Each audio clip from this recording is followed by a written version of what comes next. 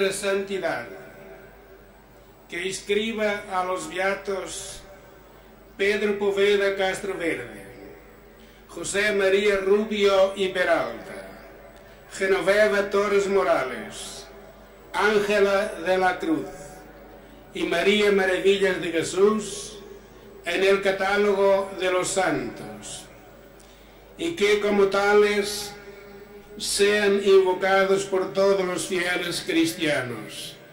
María de las Maravillas de Jesús, Pidal y Chico de Guzmán, nació en Madrid. El 4 de noviembre de 1891. Sus padres fueron don Luis Pidal Limón, marqués de Pidal, y doña Cristina Chico de Guzmán y Muñoz. Su padre era entonces embajador de España ante la Santa Sede. Era la menor de cuatro hermanos, Pilar, que murió poco después de nacer, Concepción, a la que llamaban familiarmente Niní, y Alfonso. Fue bautizada en la parroquia de San Sebastián el día 12 de noviembre. Se le impuso este nombre por la devoción que su madre tenía a la Virgen de las Maravillas, patrona de Ceejín en Murcia, de donde ésta era natural.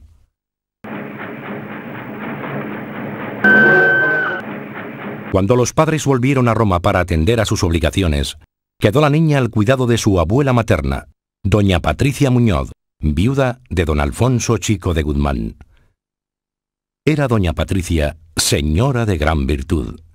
Vivía en casa de su única hija, con voto de pobreza y apartada de la vida de sociedad. Dedicó su tiempo a la formación de Maví, como la llamaban familiarmente a Maravillas, y depositó en su alma infantil la primera semilla de una piedad sólida y profunda.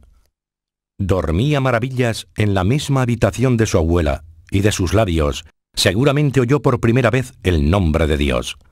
Aprendió las primeras oraciones y comenzó a escuchar los relatos de la vida de los santos.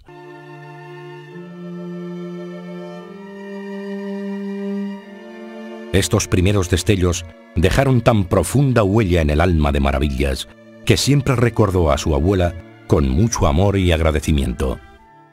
De su infancia deseó consagrarse a Dios y dedicó su juventud a ayudar a los necesitados. Testigo de la infancia de Maravillas es la finca de Carrascalejo que su familia posee cerca del pueblo de Bullas, en la provincia de Murcia.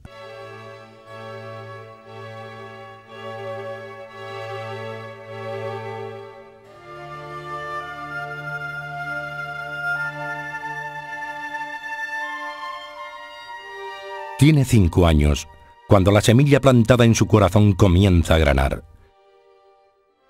En la casa de Carrascalejo tienen una preciosa y recogida capilla.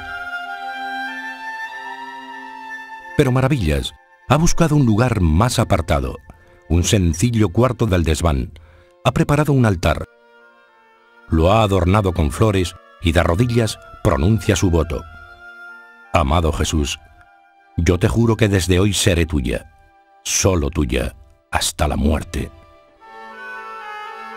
Y después se va a jugar con su amiga, como niña que es, alegre y vivaracha, pero con un fuerte carácter que va dominando desde estos años, empezando por llegar al acuerdo con su amiga Nieves de que en lo sucesivo, en los juegos mandarán por turnos.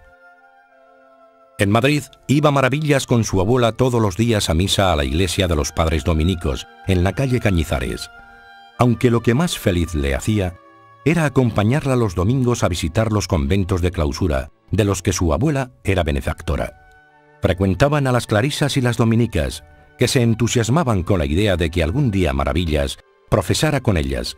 Incluso le regalaban pequeñas muñecas vestidas con su hábito. Y la niña, es cierto, quería ser monja, aunque no tenía claro de qué orden. Le gustaban, eso sí, las que visitaba con la abuela, porque no salían nunca, siempre tras las rejas viviendo con Jesús en su casa. Pero no sabía más. Lo que sí deseaba es que fuera pronto. El 7 de mayo de 1902 hizo su primera comunión en el Colegio de la Asunción de la calle de Santa Isabel de Madrid. Fue para ella, según consta en sus cartas, una fecha dulcísima y memorable. Pasan los años y crece con ella su deseo de consagrarse. Siente cada vez más consumirse en un fuego interior que no colman las bellezas y atractivos de este mundo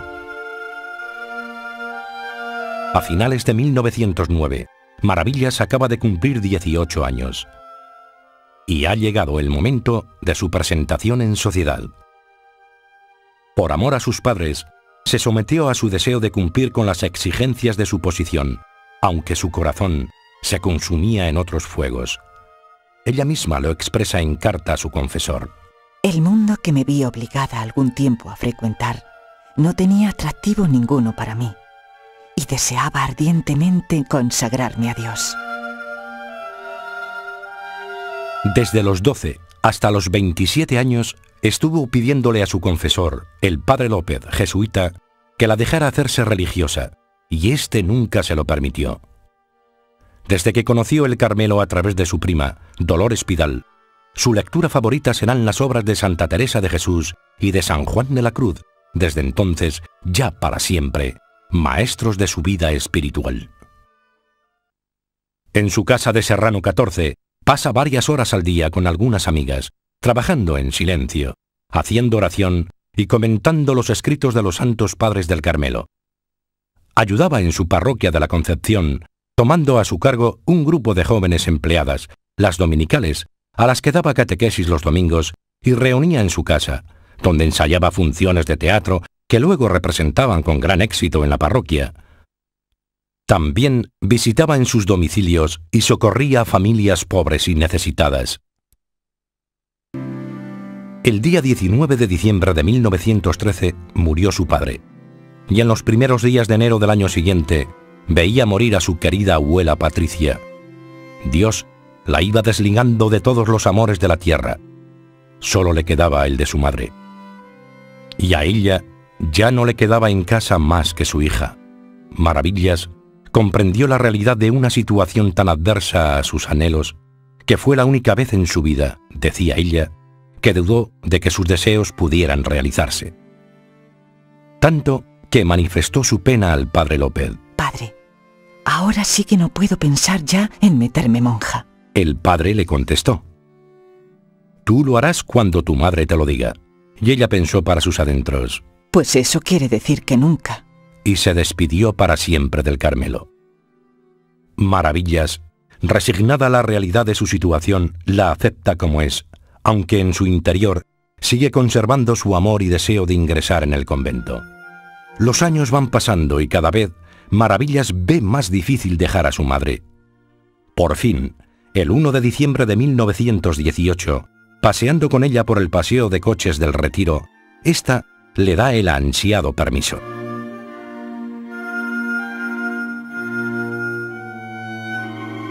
Maravillas arregla las cosas con las carmelitas descalzas del Escorial que la esperan con los brazos abiertos, pide los permisos y prepara su modesto ajuar. Ha fijado para su entrada la fecha de la Virgen del Pilar, el día 12 de octubre de 1919. Este mismo año de 1919 había tenido lugar un acontecimiento al que Maravillas no asistió por encontrarse en Carrascalejo y que sin embargo tendría un gran significado en su vida futura. En el Cerro de los Ángeles, centro geográfico de España, se había levantado un monumento al Sagrado Corazón de Jesús. El día 30 de mayo, en medio del fervor popular, el nuncio de su santidad bendijo el monumento y su majestad el rey de España, don Alfonso XIII, acompañado de la familia real y de todo el gobierno, procedió a la inauguración del monumento y consagración de España al Sagrado Corazón. Desde estas alturas que para vos hemos escogido, como símbolo del deseo que nos anima de que presidáis todas nuestras empresas, bendecid a los pobres, a los obreros, a los proletarios todos, para que en pacífica armonía de todas las clases sociales encuentren justicia y caridad que hagan más suave su vida, más llevadero su trabajo. En las vísperas de su entrada al convento, el padre López pensó que podían celebrar una misa de despedida en el cerro.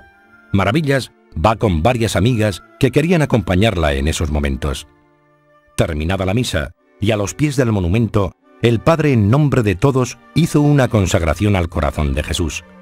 Maravillas, aquella mañana, y ante lo inminente de su ingreso en el convento, se despide de ese lugar santo.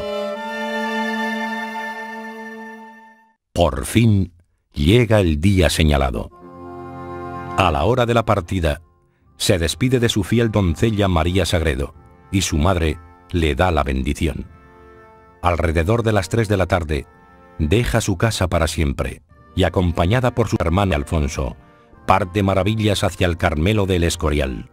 Era el 12 de octubre de 1919 y quizás lo hiciera recitando a su padre y maestro San Juan de la Cruz. En una noche oscura, con ansias en amores inflamada, oh dichosa aventura, salí sin ser notada, estando ya mi casa sosegada atraída por la espiritualidad de Santa Teresa de Jesús y de San Juan de la Cruz, y movida por su amor a la Virgen María, ingresó en el Carmelo de El Escorial el 12 de octubre de 1919. Maravillas, ya es la hermana Maravillas de Jesús le había preguntado la madre priora cómo le gustaría llamarse. Ella respondió, María, o como quieran, todo menos maravillas. Cuando le dijeron que se iba a llamar Maravillas, pensó, ¿para qué me lo habrán preguntado? Pero nada dijo. A los ocho días de su entrada, fue a visitarla el padre López, que se manifestó sorprendido de verla tan feliz. Pero padre, ¿es que dudaba? No cabía duda. Maravillas era feliz. Las austeras observancias del Carmelo le parecían dulcísimas y fáciles, y así lo cuenta en una carta a su cuñada. ¿Qué tal os va desde que nos hemos separado? Yo pido a Dios y espero que muy bien. En cuanto a mí, no puedo estar más contenta. Es una felicidad tan grande que no te la puedo explicar. La celda, donde está uno solo con Dios, parece el cielo. Por su gran amor a la Santísima Virgen, es para la hermana Maravillas una gratísima sorpresa la vieja leyenda carmelitana. El Carmelo es todo de María. Esto está grabado en el corazón de cada carmelita.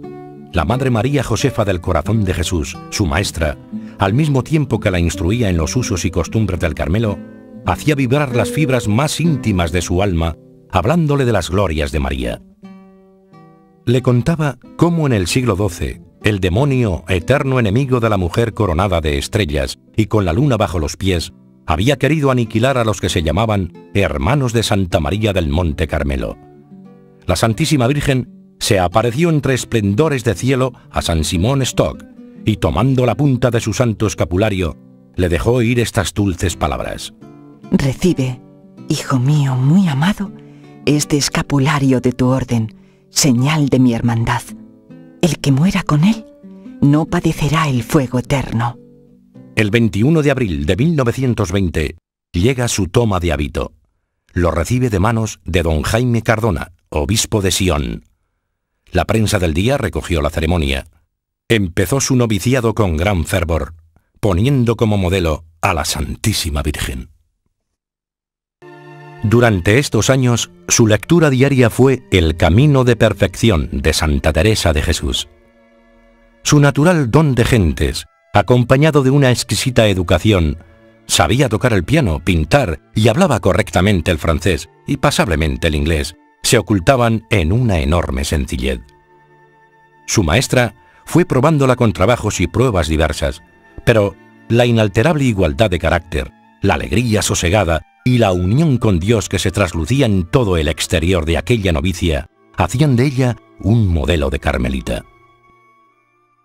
En 1924 fundó un monasterio de carmelitas descalzas en el Cerro de los Ángeles, centro geográfico de la península, junto al monumento del corazón de Jesús como lugar de oración y de emulación por la Iglesia y por España.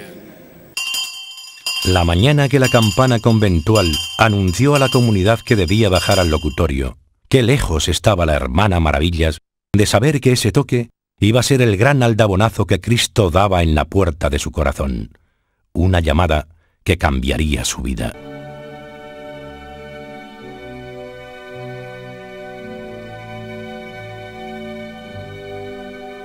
Del otro lado de la reja, hablando con la madre priora, estaba la duquesa de Nájera. La conversación se centró en la soledad en que había quedado el Señor en el Cerro de los Ángeles, después de la consagración de España al Sagrado Corazón. Lo que parecía llamado a ser un centro de peregrinaciones y un lugar santo estaba abandonado y desierto. Ovejas y cabras pastaban por las laderas del cerro, llegando hasta las mismas escaleras del monumento. Comentaba la duquesa que hacía poco había estado allí acompañada de un sacerdote de San Sebastián, don Juan Albizu, quien después de celebrar la misa y pasar largo tiempo orando, dijo, El corazón de Jesús quiere aquí una comunidad contemplativa que se inmole por España y por su reinado. Durante meses, la hermana Maravillas libra en soledad y silencio una batalla interior, una lucha en la que los deseos del Señor parecían estrellarse contra la profundísima humildad de la joven Carmelita. Esta, confundida, no había venido al Carmelo con el único ideal de vivir sola con Dios y para Dios, cada vez más olvidada del mundo. Por eso le costaba convencerse de que fuera ella el instrumento elegido para esa obra tan grande. Pero el Señor la urgía, la apremiaba. En la pequeña tribuna que da la iglesia, en el refectorio, en su celda, le perseguía insistentemente la idea de fundar un Carmelo en el cerro. En aquellos días durante las comidas, leían en el refectorio un libro que hablaba de la fidelidad a la gracia. Decía que los que responden con generosidad a las inspiraciones divinas tendrán su nombre inscrito en el corazón de Jesús por toda la eternidad. La hermana Maravillas no pudo más y un día, después de comulgar, prometió al Señor que al menos lo diría acudió a la Madre María Josefa del Corazón de Jesús, quien quedó profundamente impresionada y la alentó a seguir orando.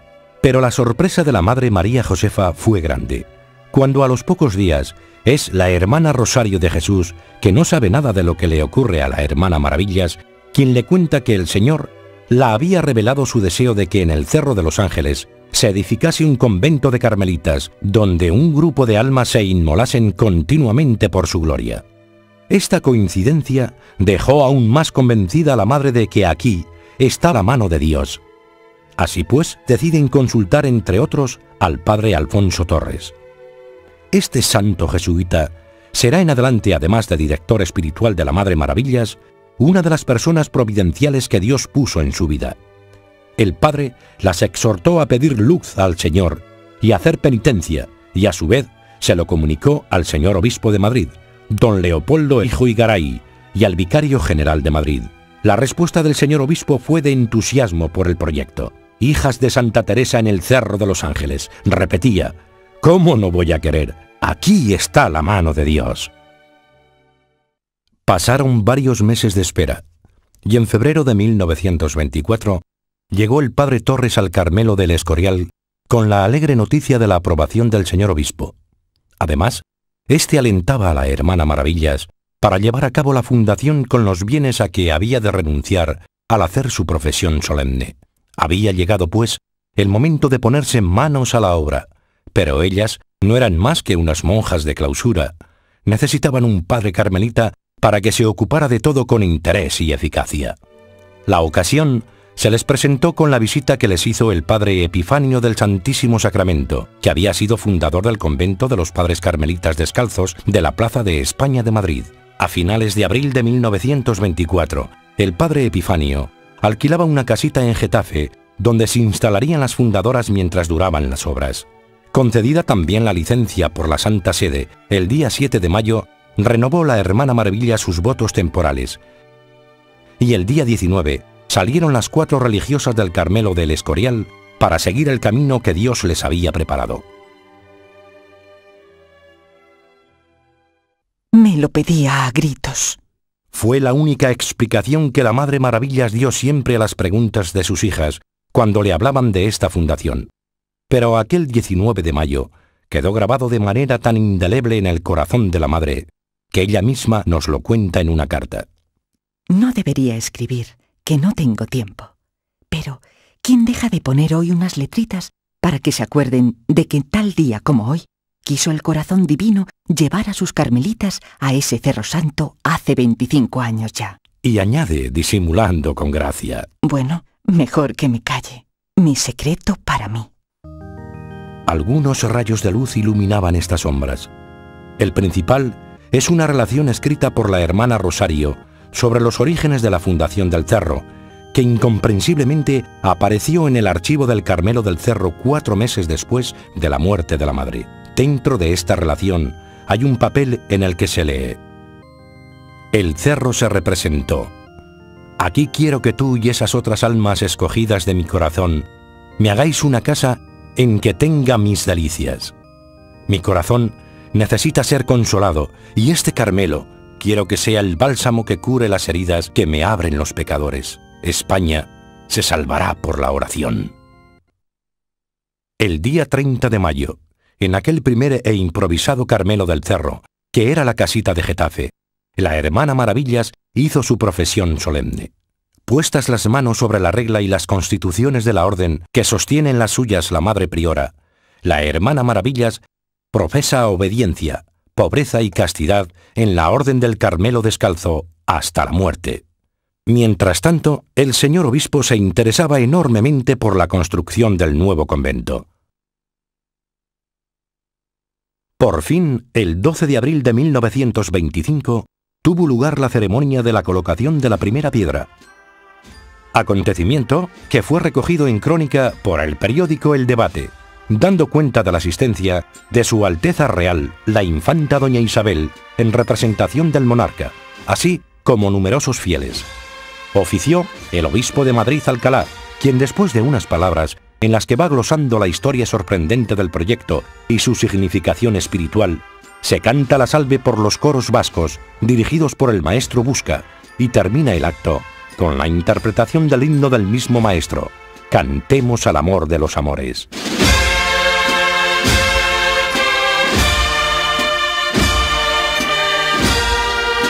Terminada la ceremonia, los asistentes abandonan el lugar, pero esta vez el cerro no queda tan solo.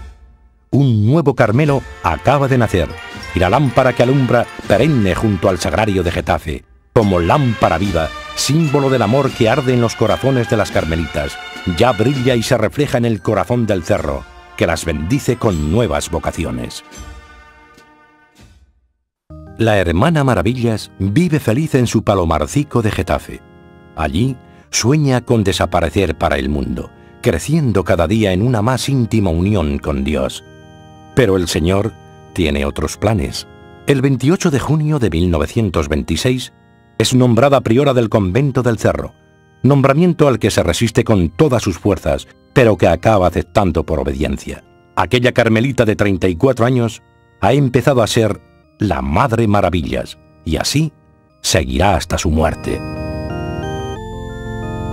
Pero la nueva priora ha quedado tan abatida después del nombramiento, intentando convencer a sus superiores de que otras hermanas son más aptas, que por primera vez en su vida llega a pensar que no tiene vocación. Llama al padre López, quien la tranquiliza. De lo que no tienes vocación, le dice, es de priora, pero de carmelita sí.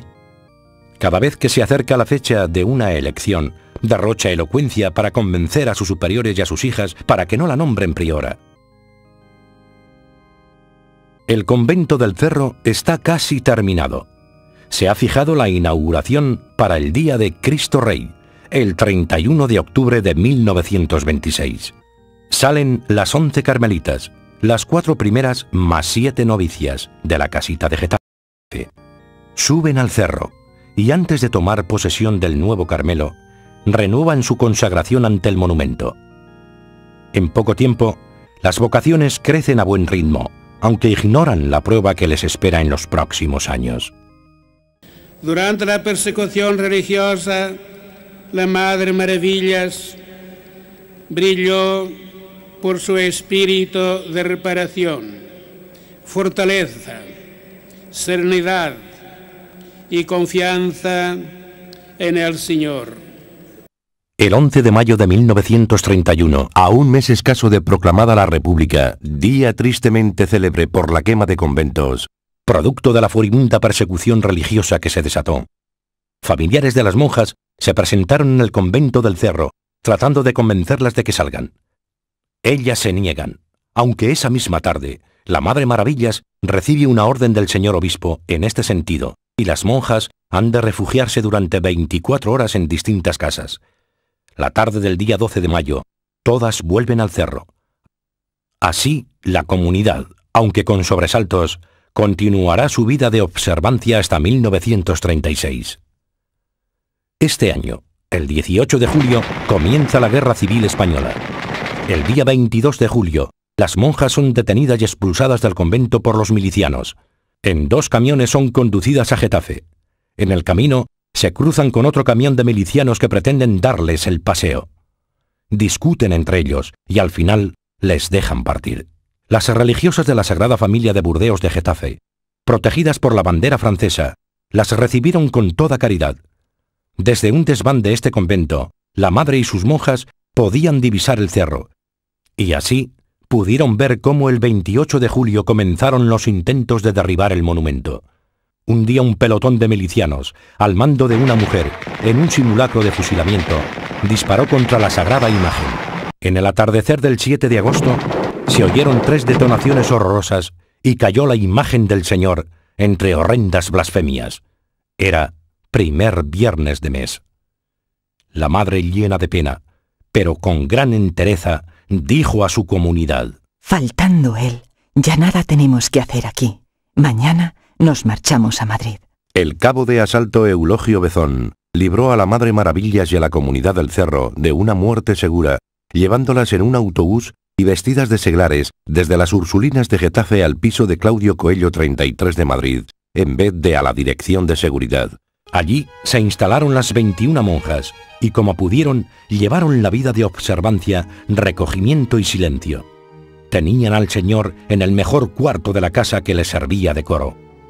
Una vez, sufrieron un registro por un grupo de milicianos al mando de Cabrejas, uno de los jefes de la checa más temida de Madrid. Otra vez, Cabrejas volvió a visitar a las monjas en plan de amigo, según dijo. Ellas le cantaron entusiasmadas unas coplillas que habían compuesto. Si el martirio conseguimos, qué mayor felicidad beber con Jesús el cáliz y después con él gozar. Y si Dios quisiera que muera en prisión, le diré que estoy presa, solo, solo por su amor. Después de incesantes gestiones para salir de Madrid, el 13 de septiembre de 1937 son evacuadas las 21 monjas y trasladadas a Valencia. Luego entren a Barcelona y Lourdes, donde las recibieron las religiosas de la Asunción. De allí salieron en dirección a San Sebastián, desde donde se dirigieron a Salamanca, camino del santo desierto de San José del Monte de las Batuecas, fundado en 1602 por el padre Tomás de Jesús, carmelita descalzo. Cuando llegan a las Batuecas, en la serranía de las Urdes, el 28 de septiembre de 1937, les impresiona el silencio del valle.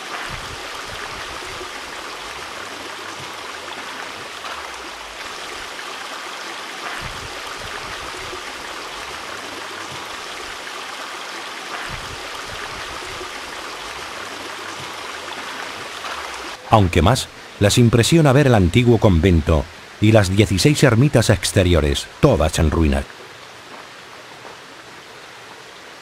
Las monjas se instalaron provisionalmente en la hospedería, entre jaras y enebros, lentiscos, tomillos, robles y castaños. Vivió la comunidad de carmelitas descalzas del cerro su observancia claustral y profunda vida espiritual. Aunque este diálogo íntimo con Dios no impedía a la madre la preocupación por los problemas y desgracias exteriores. Allí conoce la madre a Juan Mancebo y a su mujer Mercedes, que en adelante serán eficaces demandaderos en casi todas las fundaciones. El 4 de marzo de 1939, la Madre Maravillas, priora del convento del Cerro de los Ángeles, con dolor, pero con determinación, se despide de sus hijas de Batuecas y con tres monjas se pone en camino hacia el cerro. Cuando llegaron al escenario, era desolador. El monumento derruido, la ermita de Nuestra Señora de los Ángeles y el monasterio, destrozados, sin tabiques ni puertas ni ventanas, los suelos levantados por las explosiones de las bombas, escombros y ratas por todas partes. La breve reseña de la madre nos da solamente una pálida idea de lo que tuvieron que trabajar y padecer hasta reconstruirlo y adecentarlo. Al principio estuvimos sin puertas. Excuso decirle que yo no podía dormir pensando si les pasaría algo a las monjas.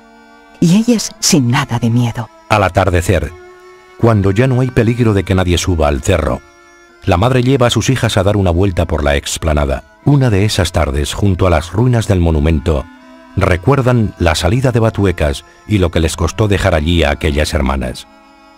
Hijas, nunca más volveremos a hacer una fundación. Pero la madre ignora que Dios tiene otros planes para ella. El Señor, que no ha querido su martirio por amor, le va a pedir la entrega de su vida por amor, mediante las fundaciones y restauraciones que como magnas sinfonías y arreglos orquestales iban a ser escritos a impulsos de amor en el pentagrama del corazón de la Madre Maravillas por el dueño de la mies. Bajo el signo de la fidelidad a Santa Teresa, fundó otros diez Carmelos, recuperando lugares de tradición teresiano-sanjuanista. Al poco tiempo de la fundación del Cerro, visitó a la comunidad el 15 de septiembre de 1932 Fray Buenaventura Arana, misionero carmelita descalzo y recién nombrado obispo de la diócesis de Vijayapurán en la India habla a la comunidad de la necesidad de oraciones para el crecimiento de la misión de cristiandad en aquellos territorios de la India, y que mejor que un convento de carmelitas descalzas. Tan hondo prende la idea en el corazón de la madre que no solo se entusiasma, sino que se ofrece para ir al nuevo Carmelo, aunque sus superiores no aceptan que ella vaya. Ocho hermanas de la comunidad, entre ellas la Madre Rosario de Jesús, una de las fundadoras del cerro, que va como priora, embarcan en el vapor alemán Fulda el 13 de septiembre de 1933. Y como la tierra es fértil, la semilla de las vocaciones fructifica, regada con el agua de sus oraciones, y de aquel palomarcico surgirán muy pronto dos Carmelos, el de Tirubaya y el de Cotillam. Después de la guerra civil, al Carmelo del Cerro llegan muchas jóvenes que quieren consagrarse en la Orden de la Virgen. Ante tal afluencia de vocaciones, la Madre Maravillas cree que no hay más remedio que empezar a pensar en alguna fundación. Después de mucho meditar, decide ir tras la huella de los descalzos. En las cartas que la Madre escribe por esa época, se lee con frecuencia un nombre, Duruelo, el lugar donde la Orden Descalza plantará las raíces de la Reforma.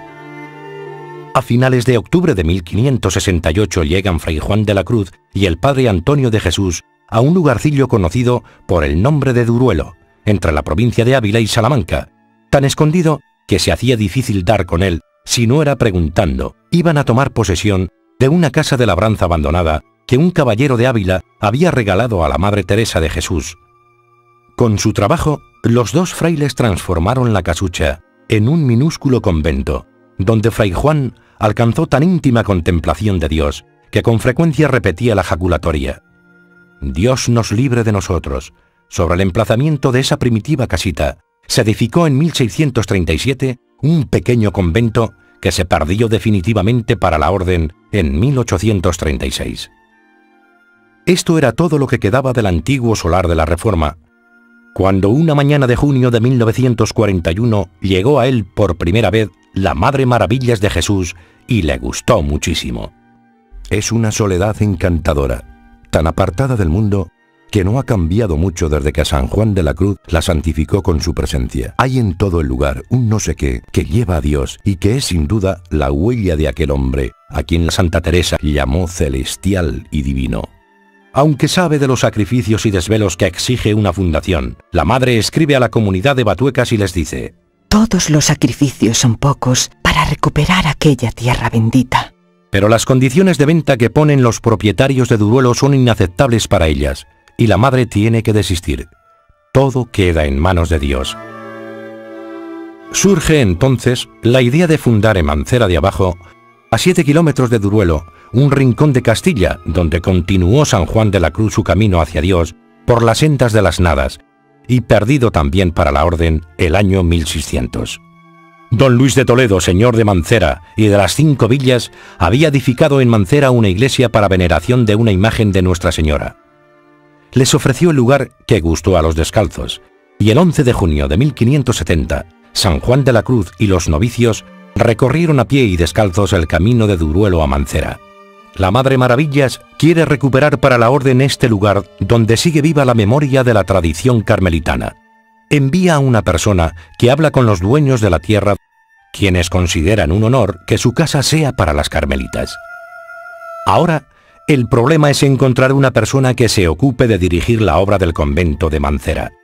Es Manolo Martín Mulas, un joven contratista que se interesa vivamente por la obra de la madre y desea conocerla. El encuentro tiene lugar en Mancera, en casa de don José y doña Teresa. Manolo queda cautivado por la santidad de la madre y ella adivina las grandes cualidades de aquel hombre inteligente y generoso. Difícilmente podremos ya separar a Manolo de la obra de la madre. El 1 de diciembre de 1944, día de la inauguración del nuevo convento de Mancera, le llega la noticia a la Madre Maravillas de la posibilidad de adquirir el terreno de Duruelo a precio más asequible. Pero aún así, la madre no puede ni siquiera soñar con ello. Mancera se ha hecho gracias a la generosidad de unos bienhechores. No tiene ni una blanca, pero promete encomendárselo a Dios. ¿Y si es obra suya? Se lo comunica a la Madre Magdalena, priora del Cerro, que contesta por correo a la Madre, entusiasmada con la idea. Precisamente una de las hermanas que ha profesado últimamente ha renunciado a sus bienes para emplearlos en una fundación. Comienzan las obras y los viajes a Duruelo tienen un sabor típicamente teresiano. Las monjas del cerro le han regalado a la madre una pequeña tartanita en la que recorren los siete kilómetros que separan Mancera de la alquería de Duruelo. Suelen salir después de oír misa. La tartana la conduce Francisco, más conocido por Faico, el hortelano del convento de Mancera. Serán Francisco y su esposa Jacinta otra de las personas que la divina providencia ponga en el camino de la Madre Maravillas para con la callada y generosa entrega ayudarla en sus fundaciones. Yo soy Francisco, mi mujer Jacinta. Conocimos a, conocimos a la Madre Maravillas. Yo hice bastantes viajes con ella en la tartana a Duelo, en las obras de Duelo. Unas veces íbamos por un camino y otras veces por otro, porque los caminos entonces eran malísimos. Estaban, pues, había sitios que, se tenía que, tenían que bajar. Las Madres Maravillas, la hermana Dolores y la hermana Isabel, que iban en la tartana y se tenían que bajar por causa del, del mal camino que había. Era buenísimo. Conmigo se portó muy bien, la Madre Maravilla. Llevaba entonces muy poco tiempo conmigo. Y yo tuve la peritonitis aguda. Peritonitis aguda, desahució a los médicos. Pues me dijo que morir a la cama. Y la, la Madre Maravilla pues pidió mucho por mí. Y aquí me tiene. Yo entonces tenía 26 años, hoy tengo 85. De hablar en la tartana era lo único más que hablábamos, rezar el rosario cuando veníamos para acá con ella. Y qué bien se hace la oración en la humilde tartana en medio de la soledad silenciosa de aquellos predios castellanos. Terminadas unas breves palabras, y vuelve a reinar el silencio, saben que a la madre le gusta ir callada. ¿Quién se viene a Duruelo? De aquí al cielo. Escribe la madre después de ponerse la primera piedra del convento. Es consciente del sacrificio que exige a sus monjas, pues a la dificultad de cada fundación sigue la de formar la comunidad, y ella es la primera que no duda en dejar los conventos en los que tanto y con tanta ilusión ha trabajado, para emprender la penosa tarea de empezar de nuevo, como tampoco duda en separarse para siempre de sus hijas más queridas, a las que siempre sabe confortar con frases como Bien sé por experiencia lo que esto cuesta, pero vamos a no mirar nuestros pobres sacrificios. La fundación de Duruelo se inaugura el 20 de julio de 1947. Desde el año 1939 a 1947, la madre ha hecho cuatro comunidades de una. Aunque Dios bendice su obra con una lluvia de vocaciones, hay que contar que de 80 monjas, solo 20 tienen más de 10 años de vida religiosa. Podemos afirmar que los dos pilares que sostienen las fundaciones de la Madre Maravillas son la confianza en Dios y el espíritu de sacrificio. Aunque la base de todo, este edificio está en la caridad. Este verdadero amor del que habla Santa Teresa como reflejo del amor a Dios, de unas para con otras, fue el vínculo que la Madre quiso que uniera a todos los Carmelos que fundó. En 1949, el padre general de los Carmelitas Descalzos, Silverio de Santa Teresa, le pide ayuda para reforzar el Carmelo de Newport en Estados Unidos, y una vez más es la primera que se ofrece. El proyecto estuvo muy adelantado, hasta el pasaporte tenía ya hecho la madre. Pero Dios no la quería al otro lado del charco, sino a Cabrera, en pleno campo charro, entre dehesas de toros bravos. La fundación de Cabrera surge por necesidad. El padre Silverio le manifiesta a la madre que sería una cosa providencial poseer un desierto en la provincia y tanto él como el padre Valentín de San José, provincial de Castilla, se entusiasmaban con la idea de que pudieran ser batuecas. La madre lo consulta con la priora de Batuecas, quien la contesta que no lo harían sin un gran sacrificio, aunque se entrega a sus deseos y escribe al padre general ofreciéndole incondicionalmente el lugar. El 1 de octubre de 1950 sale la comunidad de Batuecas de aquel convento donde tan felices han vivido durante trece años.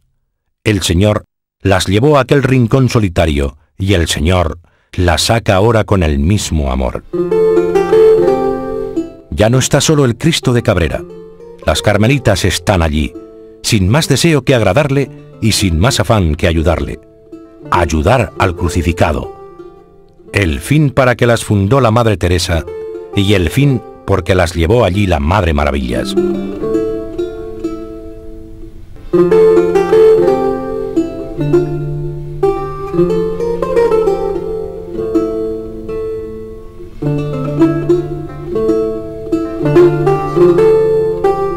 Ella se queda en Duruelo. Es feliz, sin arrimo y con arrimo, en la cuna de la descalced, aunque no será por mucho tiempo. En Duruelo es tal la afluencia de vocaciones que son ya más de 30 entre novicias y profesas. Es el momento de una nueva fundación. Otra vez en camino. Viajes cansados y sacrificios ante los que no se detiene, ni por sus enfermedades, ni por sus ya 61 años. En el verano de 1952 se asoma desde las crestas de Gredos al fértil valle donde se asienta Arenas de San Pedro.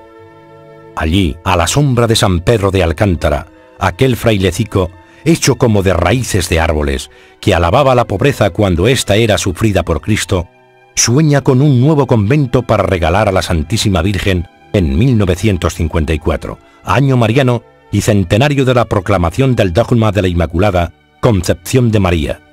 Y así fue. El 8 de diciembre de 1954, Día de la Inmaculada, se cantó la primera salve en el Nuevo Carmelo. escribe a la comunidad de Cabrera contándoles ese primer día en la fundación de Arenas.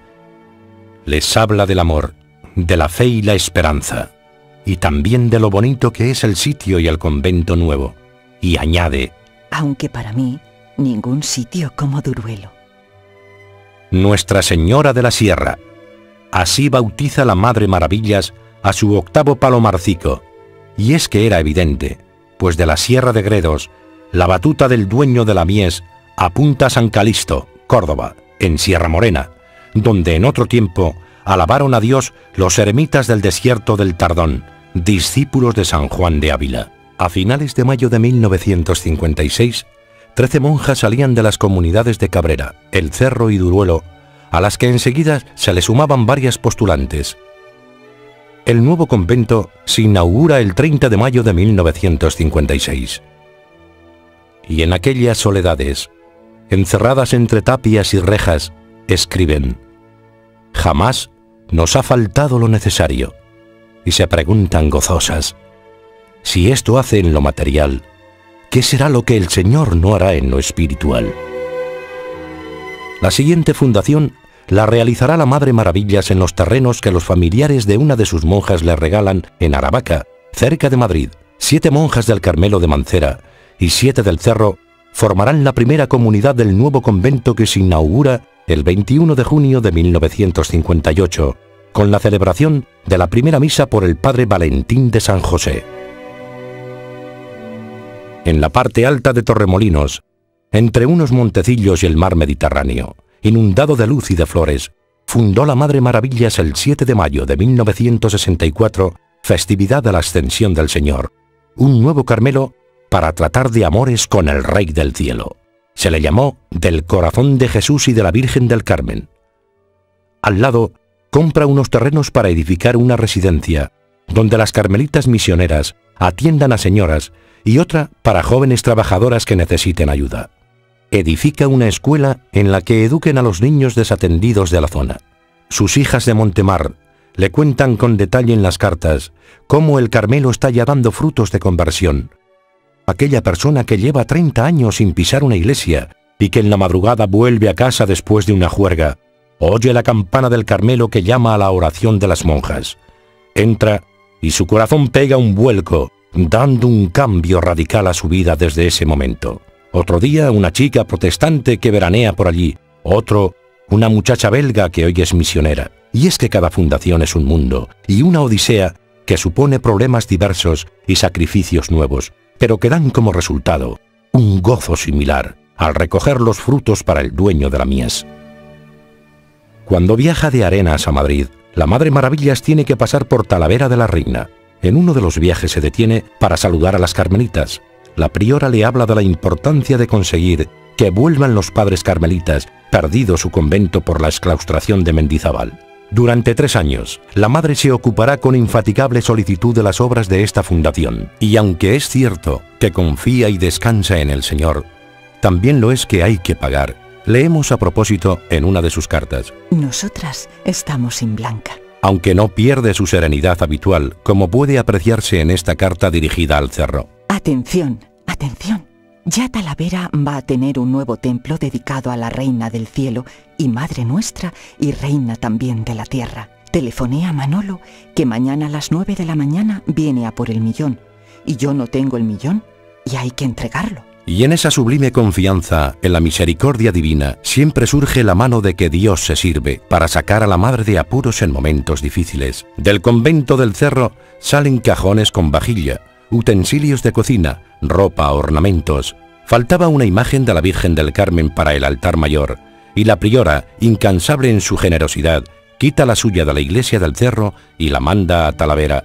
El día 15 de octubre de 1960, fiesta de Santa Teresa de Jesús, la Madre Maravillas entrega al Padre Provincial de los Carmelitas Descalzos de Castilla, ahora Fray Pedro Tomás de la Sagrada Familia, la iglesia y convento de Talavera de la Reina. Hasta el momento, parece que en todos los conventos que la Madre Maravillas ha fundado, ha habido siempre un motivo especial para que fuera allí y no en otro lugar.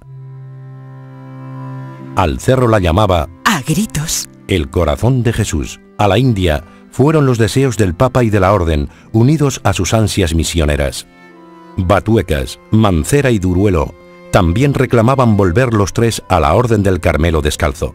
Cabrera con su ermita y su Cristo tenía un atractivo especial. El Tardón en la Sierra Morena, lugar santo consagrado a la penitencia y la oración, no podía perderse. Aravaca nació con vocación de quinta de recreo para un Cristo cansado de andar mendigando de puerta en puerta. Montemar sería un Carmelo de reparación y desagravio. Arenas de San Pedro fue el regalo que la madre hizo a la Santísima Virgen en su año mariano. ¿Y la aldehuela qué?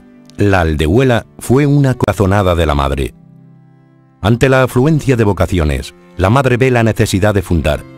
Hay distintas propuestas en la diócesis de Ávila, cuando surge un nombre, Perales. Después de una visita al lugar, la madre escribe a sus conventos muy complacida. La fundación es en los alrededores de Madrid, entre Perales y La Marañosa donde estaban los trapenses. No cabe duda, donde ha habido un convento tiene algo especial. Para poner en marcha las obras, tendrá la madre que resolver grandes dificultades. Como siempre, está sin blanca.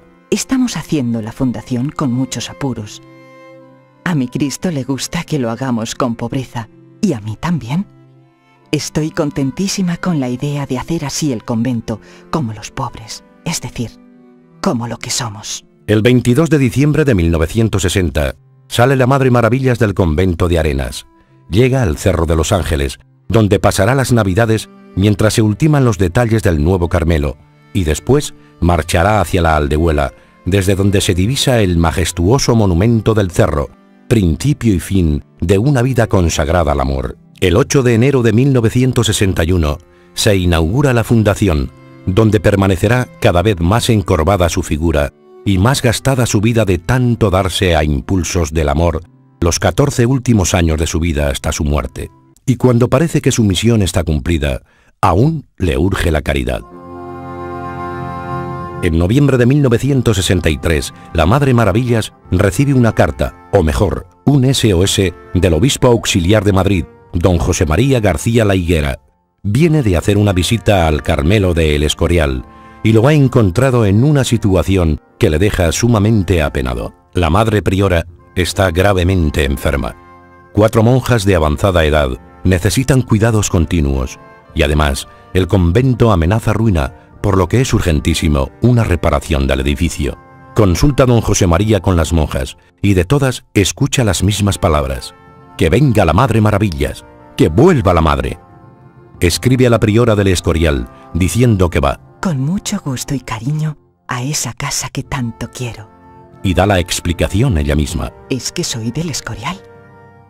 La obra va a tener que ser de mucha mayor envergadura de lo que se había pensado. Tanto que las monjas tendrán que dejar el convento una temporada. Pero enfermas y sin recursos, ¿dónde instalarlas? La solución se presenta sencillísima. Todos los palomarcicos de la madre abren sus puertas de par en par a sus hermanas del Escorial y se disputan la alegría de tenerlas entre ellas mientras duran las obras.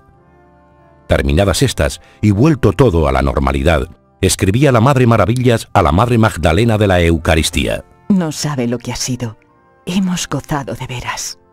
Bendito sea Dios y Él reine de verdad en estas almas tan suyas. En enero de 1966, la Madre Maravillas recibe en la aldehuela una carta de su viejo amigo don Santos Moro, obispo de Ávila. El monasterio de la Encarnación de Ávila le dice en ella, amenaza ruina. La madre no comprende. Es que don Santos se ha olvidado de aquel día que le llamó al locutorio para hablarle de sus deseos de pobreza y de retiro, de desaparecer y que nadie se acordara de ella. Que hasta Duruelo, el Carmelo más chico de la orden, le resultaba demasiado deleitoso no comprende a don Santos. Ella le ha pedido el rincón más pobre y desconocido de su diócesis, y él le entrega su joya más preciosa, el monasterio de la Encarnación. Su respuesta es humilde pero terminante. Ella no puede ir, tiene 74 años. Estoy vieja y cansada. Dice, y si nunca ha servido para nada, ahora que está enferma mucho menos. Don Santos no se lo manda, pero si ella no va a la encarnación, de aquella santa casa pronto no quedará más que un montón de ruinas. Esto le basta para ver en ello la voluntad de Dios. Y el 25 de abril de 1966, apenas pasada la cuaresma, sale camino de Ávila. Enferma y cansada, pero obediente hasta el fin, sigue personalmente o desde la aldehuela las vicisitudes de las obras. Cuando están terminadas, recorriendo el monasterio con amor y reverencia, ha venerado el Ece Homo muy llagado, la imagen de San José, el parlero, que quedaba en el monasterio durante los viajes de Santa Teresa, y le contaba a la vuelta cómo se habían portado las monjas. Ha orado en la celda prioral y el oratorio contiguo, donde la santa recibió varias veces la merced del dardo, y ha comulgado por la ventanilla en la que Dios le hizo la gracia del matrimonio espiritual. ¿Qué sentiría la madre en esos momentos? Sus hijas no han notado en ella nada que se salga de su habitual sencillez, a no ser ante la imagen de la santa del coro bajo. Durante un rato parece como ajena a cuanto le rodea y abismada en Dios. No hay en el mundo para mí nada más hermoso que el Carmelo. Siento que es verdad lo que dice nuestra Santa Madre Teresa, que es esta casa un cielo si le puede haber en la tierra. Su entrega a Dios fue total, pero también quedó amor para abrir su corazón a las necesidades materiales de la Iglesia y de los pobres. Entre muchas otras obras de caridad, ayudó a diversos institutos de vida consagrada, proveyó de objetos sagrados a parroquias, ayudó económicamente a sacerdotes y a seminaristas necesitados, a las familias de los trabajadores de sus monasterios, construyó colegios a favor de los niños que carecían de escuelas, edificó viviendas para las familias que carecían de hogar. Tomó a su cargo la construcción del complejo parroquial de Perales del Río, así como de una clínica en Pozuelo del Arcón para monjas enfermas, y hasta otros muchos lugares llegó su generosidad. Priora durante largos años enseñó a sus hermanas con el testimonio de sus virtudes y se distinguió por su vida mística, ardor apostólico y por la bondad unida a la firmeza ante quienes la tenían por verdadera madre. En el decreto de sus virtudes heroicas leemos, para con sus monjas fue madre delicada y tierna. Cuantos acudían a ella encontraban benevolencia y consuelo, perdonó de corazón a sus adversarios, oraba y hacía penitencia por la conversión de los pecadores y pedía la gracia de Dios para el género humano. Soportó con paciencia las enfermedades y los sufrimientos, conformándose interiormente a Jesús crucificado, trabajó por la difusión de la fe y la salvación de las almas. Su vida de oración fue riquísima. Santa Maravillas es una de las grandes místicas de nuestro tiempo aunque sin fenómenos externos extraordinarios. Tuvo una espléndida experiencia de unión con Dios y una vida teologal profundísima, acompañada de todas las virtudes. Supo guardar celosamente el secreto de su vida interior. Ella pidió al Señor que no sea nunca que puedan notarlo. De manera que lo único que pudieron apreciar las monjas que convivieron con ella es que se la veía a menudo profundamente recogida. Solo después de su muerte, gracias a las cartas que dirigió a sus confesores, el padre Alfonso Torres de la Compañía de Jesús y los padres carmelitas descalzos, Florencio del Niño Jesús y Valentín de San José, hemos podido conocer su extraordinaria vida mística. Murió en el Carmelo de la Aldejuela el 11 de diciembre de 1974 expresando qué felicidad morir carmelita. Poco a poco, su vida se va extinguiendo. El 27 de octubre de 1972, sufre un paro cardíaco del que se recupera, aunque su salud quedará muy mermada. El día 5 de diciembre de 1974, comenzó a tener fiebre. El 8 de diciembre, día de la Inmaculada Concepción, se le administra la Santa Unción y recibe el Santo Viático, sabe que se acerca su hora. Se va al cielo, madre, le dice la Madre Dolores de Jesús, su priora de la comunidad. ¡Qué alegría! ¿Cómo no me lo han dicho antes? ¡Qué felicidad morir, Carmelita! Llegamos así al 11 de diciembre, miércoles, día de su preciosa muerte. Son las 4.20 de la tarde la madre exhaló su espíritu en tres respiraciones suaves.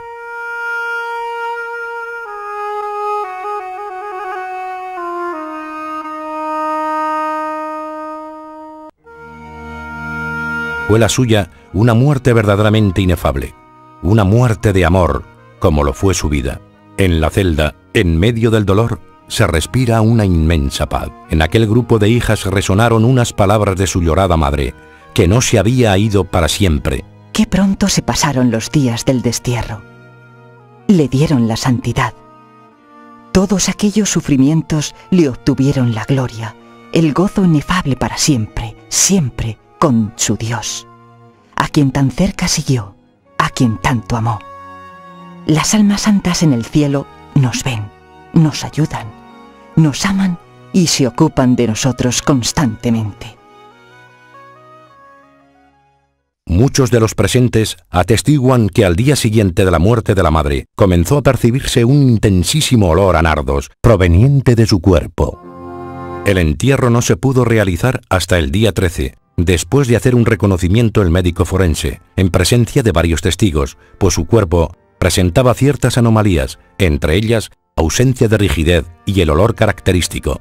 Sus restos mortales fueron enterrados en la clausura de la aldehuela, en una sencillísima tumba en la huerta del convento.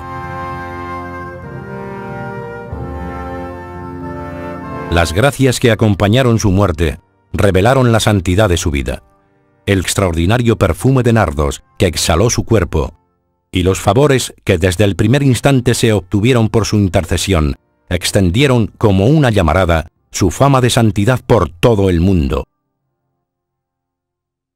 Ante la petición de innumerables personas, en 1981, sus restos mortales se trasladaron a la iglesia del Carmelo de la Aldehuela. Su sepulcro se ha convertido en centro de peregrinación y es visitado por gentes de todo el mundo que a ella acuden en busca de consuelo.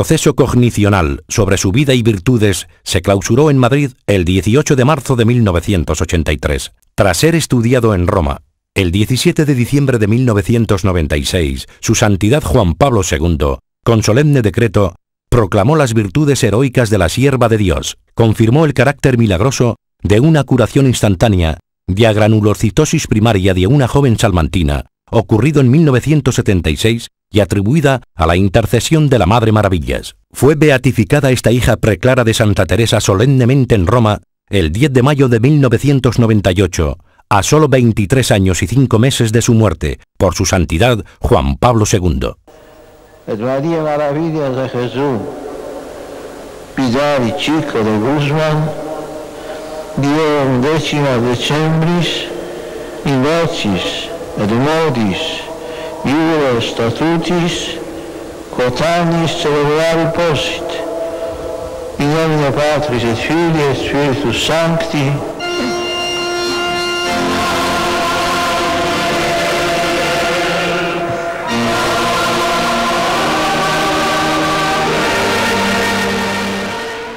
Solo dos meses habían transcurrido desde su elevación a los altares cuando Dios realizó por su medio un extraordinario milagro. En Argentina, en la pequeña ciudad de Nogoyá, entre los días 19 y 20 de julio de 1998, se producía la curación rápida, completa y duradera, sin secuelas neurológicas del pequeño Manuel Vilar, de 18 meses, que había sufrido ahogamiento en una piscina de agua estancada y fangosa, con prolongado paro cardiorrespiratorio y coma profundo. Su madre invocó con extraordinaria confianza a la Madre Maravillas, y el pequeño Manuel, que según la opinión de los doctores, si no moría, quedaría como una plantita, se recuperó instantánea e inexplicablemente.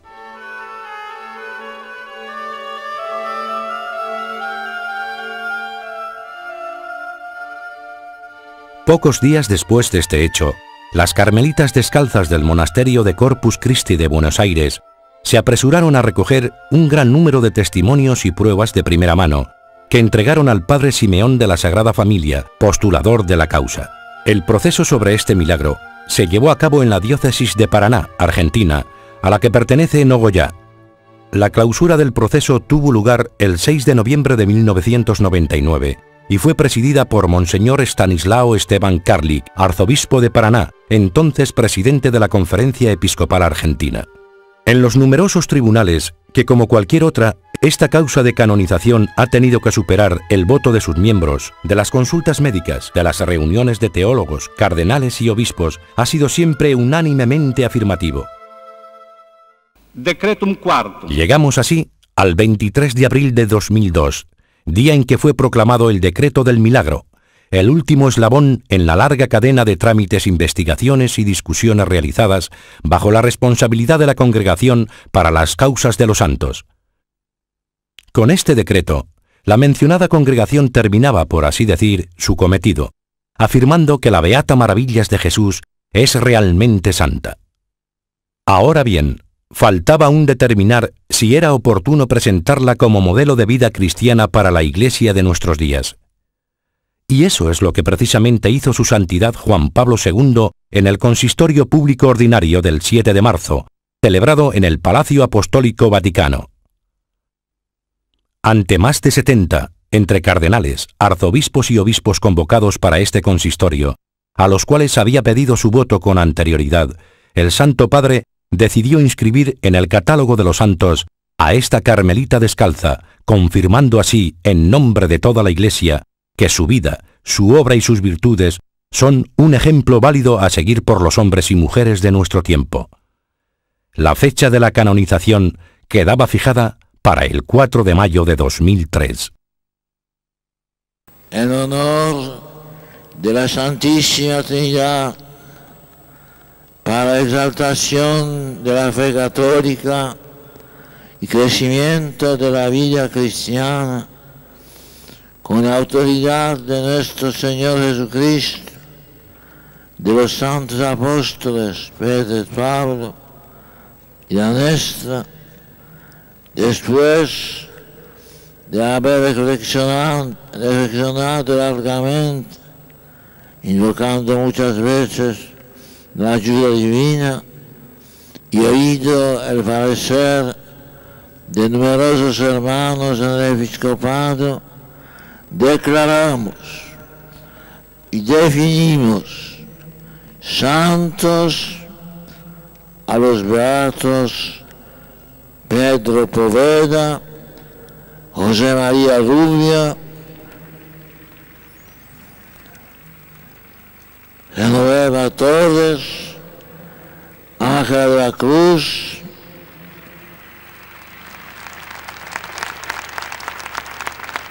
y María Maravillas de Jesús.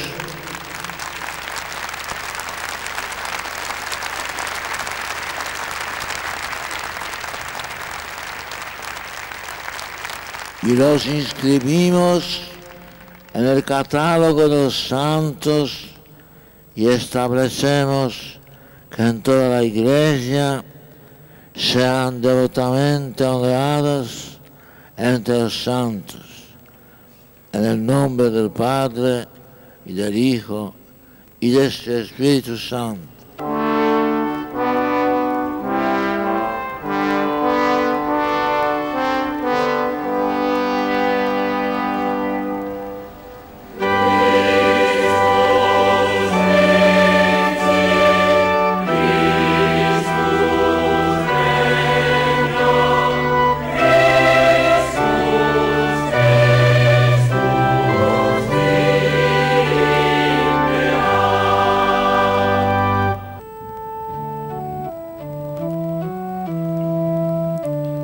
Beatísimo Padre, en nombre de la Santa Iglesia y especialmente de la Iglesia en España, agradezco a vuestra santidad la proclamación hecha y pido humildemente disponga que sea publicada la carta apostólica de la canonización. Lo ordenamos.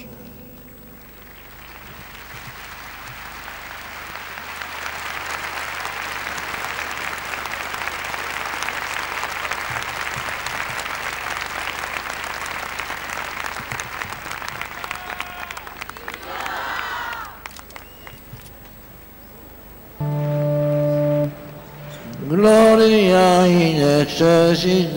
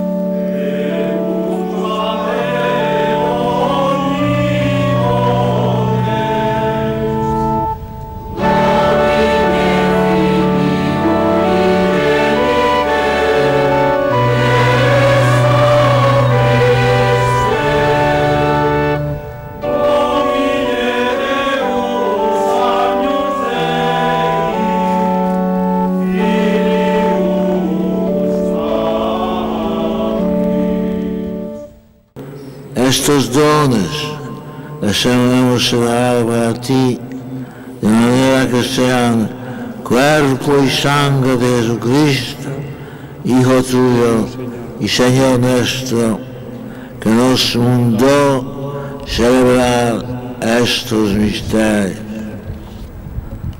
Porque Él mismo, la noche en que iba a ser entregado, pan y dando, dando gracias te bendijo, lo partió y lo dio a sus discípulos, diciendo, tomad y comed todos de él, porque esto es mi cuerpo, que será entregado por vosotros.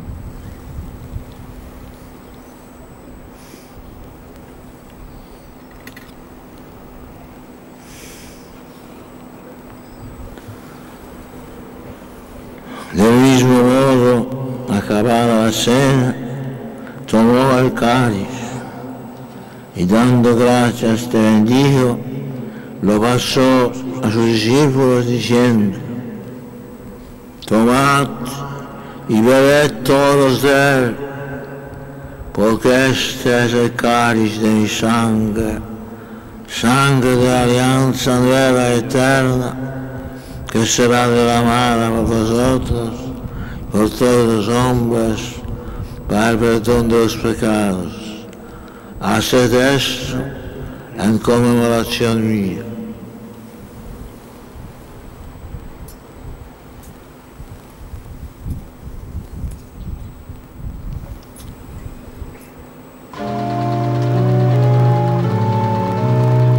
que quita el pecado del mundo. Dichosos los invitados a la cena del Señor. Señor, no soy digno de que entres en mi casa, pero una palabra tuya El cuerpo de Cristo me guarde para la vida